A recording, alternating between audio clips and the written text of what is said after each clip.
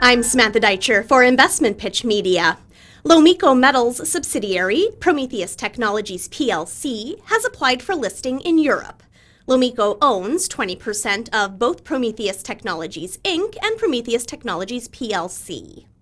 Having established banking relationships with both Canadian and offshore financial institutions, Promethieus representatives are currently meeting with regulators to finalize the listing.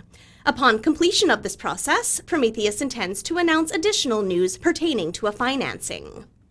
In December, Promethieus changed its mandate to focus on future tech investments and has reviewed investment opportunities in electric vehicle infrastructure, clean energy, the Internet of Things, as well as clean tech and green tech materials related to these technologies.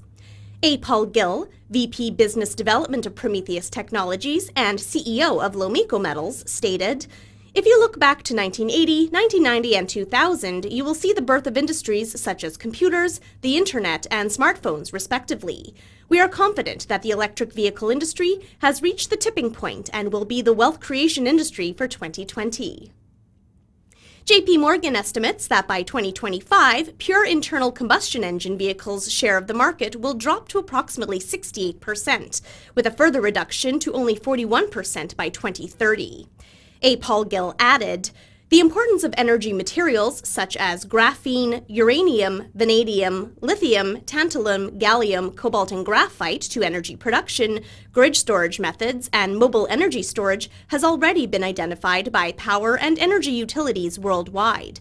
In addition, new opportunities in data storage and secure transactions are made possible by new software. IoT products are a massive trend in smart home automation that will introduce new smart devices to our homes and offices. The company aims to seek and fund startups in these areas. As Promethieus required a natural person to act as a founding director, Mr. Gill accepted the position on behalf of Lomiko and currently holds 42% of Promethieus. Upon completion of the IPO, Mr. Gill will transfer shares to Lomiko to ensure Lomiko's 20% threshold is maintained after any financings. The shares are trading at 7.5 cents. For more information, please visit the company's website, lomiko.com, contact A. Paul Gill, President and CEO, at 604 729 5312, or email info at lomiko.com. I'm Samantha Deitcher for Investment Pitch Media.